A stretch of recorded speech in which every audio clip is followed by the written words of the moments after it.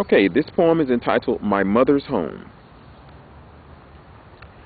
It's never far to my mother's home, and the way is filled with signs. The path bears many telltale marks of footprints, hers and mine.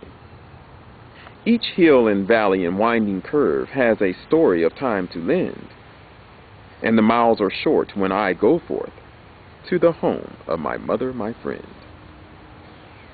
The days are always bright and fair when I on my mother would call, who's been a friend in times of stress and stood by through it all.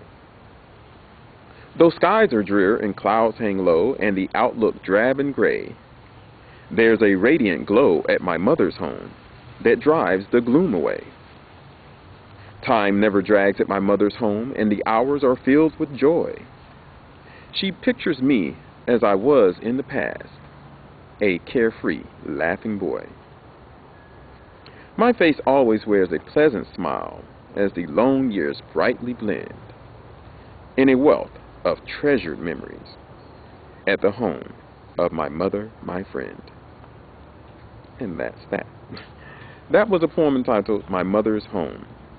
And I always winded up coming back to my mother's home. Here it is, I'm 37, not 38 as I've been telling people because I thought I was 38.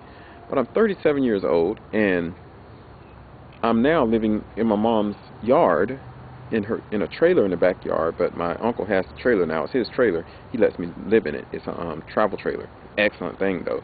In a lot of my segments, you see that trailer. Um, not in this. This I just really started this. So, um, but in previous videos, if you go to YouTube, uh, which you'll see this on YouTube predominantly, um, excerpts on my MySpace, but mostly on YouTube, you'll see this.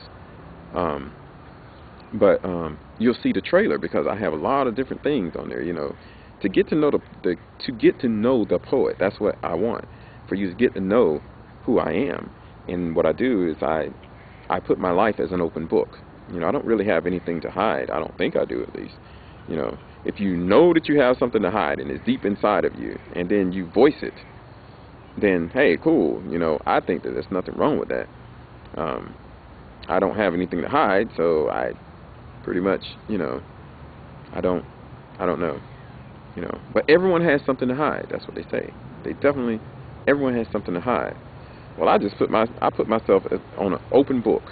Uh, it's called An American Under Attack, and it's in four segments now going on the fourth segment. Then it's going to continue, hopefully up to like maybe, hopefully 12. I want to get a volume. That's what I want. I want a 12 volume thing. I don't know why that number 12 sticks with me, but that's what I want. 12 books. You know, just do it like that and leave it like that. But, um, so that was my mother's home. Now I shall give you another poem. Um, I think I'm going to give you one called Memory of My Mother. It's a very nice poem, and it follows in line, so I think that'll be good. So the next poem is entitled Memory of My Mother. Okay? So I'll see you uh, with Memory of My Mother. Oh, she's a fantastic woman, by the way. Mm. Memory of My Mother.